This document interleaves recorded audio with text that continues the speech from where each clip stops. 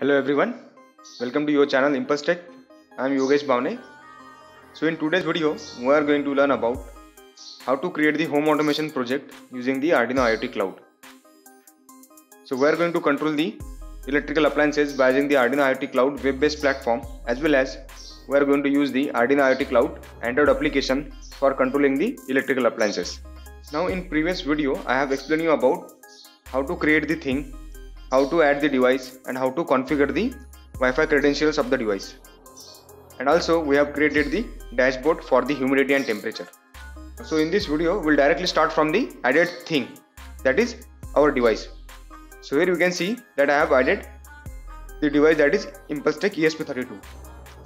For those who don't know about how to create the thing, how to create dashboard, you can watch my previous video. I'll mention the link in description box as well as in the I button so you can watch that and then come back here. So now we'll directly start from our created thing that is ImpulseTech ESP32 and we'll see what changes we need to do. So I'll click on this thing. As you can see we have added two variables.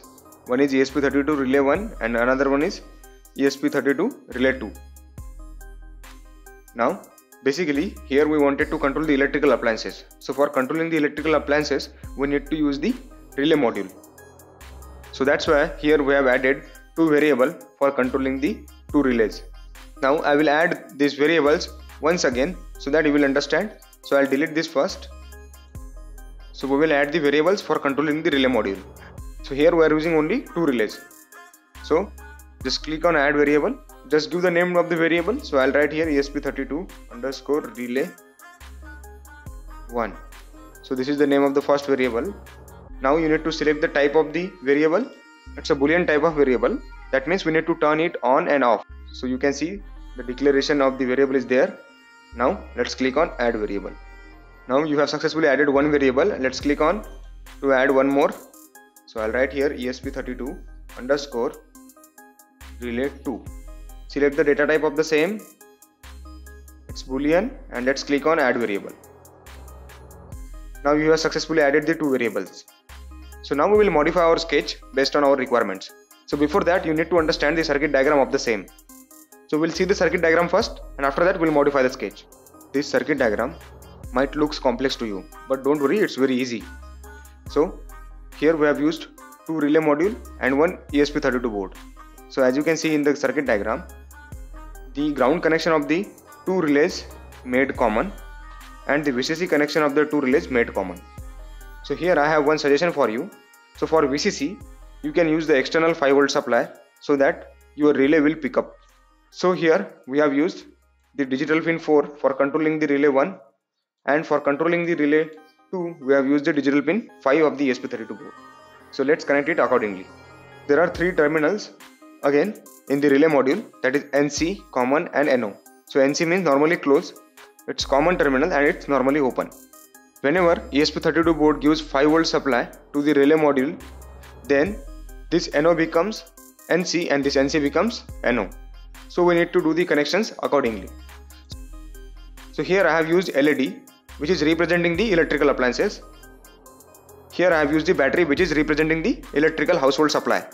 So you can use your electrical household supply and the whatever electrical appliance you want to control.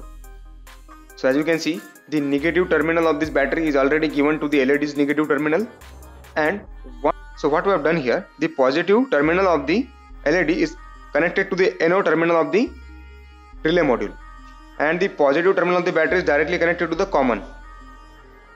So whenever the ESP32 board gives 5 volt supply to the relay module then this NO becomes NC.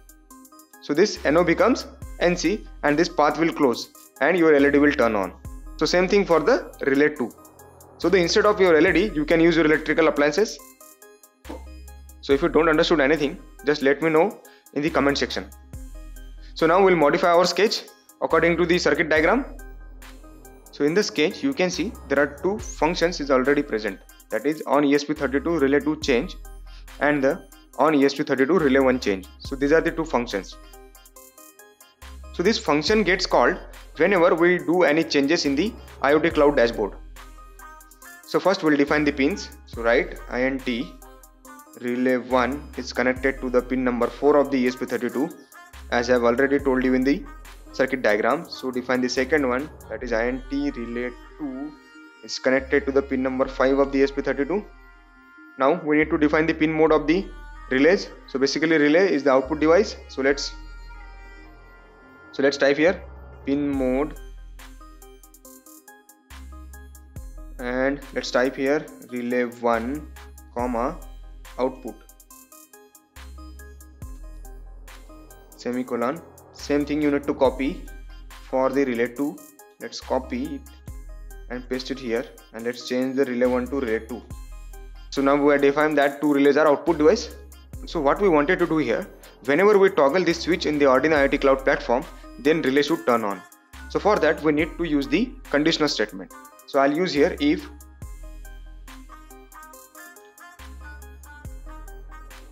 ESP32 underscore relay to enter. And I'll write here so if the ESP32 relay 2 change that means if you so if you toggle the switch from the Arduino IoT cloud platform then what we wanted to do then we wanted to turn on the relay. So for that we need to use the command that is digital write. So here we wanted to turn on the relay 2 so let's type relay 2 comma high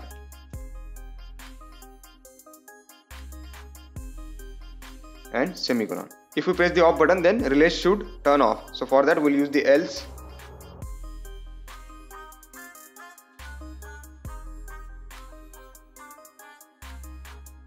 Let's type here. Digital write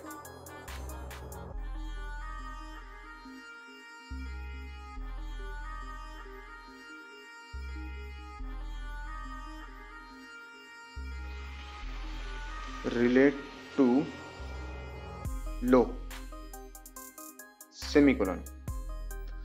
So we have done the programming so now we have done the programming for the function that is esp32 relay 2 change. So we'll do the same for the function that is esp32 relay 1 change.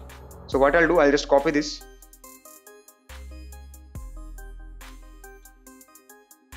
Control c and just paste it here. Now you need to do the changes here that is relay 1 here also you need to do the changes here that is relay 1 relay 1 so this is the simplest programming you can do. Hope you understand. So if you don't understand anything just let me know in the comment section. So now we will compile this code. So let's click on compile.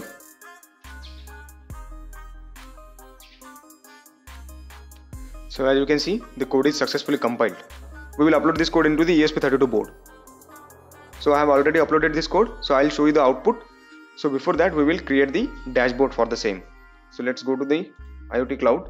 So here we'll create the dashboard from the scratch. So I'll delete it. So now we wanted to control the electrical appliances. So for that we need to add the switch. So let's click on add then select the switch. And you need to link the variable for the same. So click on link variable so this is the switch one. So we wanted to control the relay one. So let's control the relay one. So let's click on the link variable. And I'll write here switch one. Or you can say you can write here as well relay one. Okay so let's click on done. Now next add second switch. And let's rename it as a relay 2 and link the variable that is ESP32 relay 2 and click on link variable. So as you can see we have successfully created the dashboard and we have added the two widgets that is relay 1 and the relay 2. So now we will use the Android application of the Arduino IoT Cloud platform and we will control the electrical appliances from the Android IoT Cloud platform as well. So now you can see the output of the project on the screen. The project is completely working fine so now you can see the output of the project on the screen. So here we are using the android application as well as the web based iot cloud platform.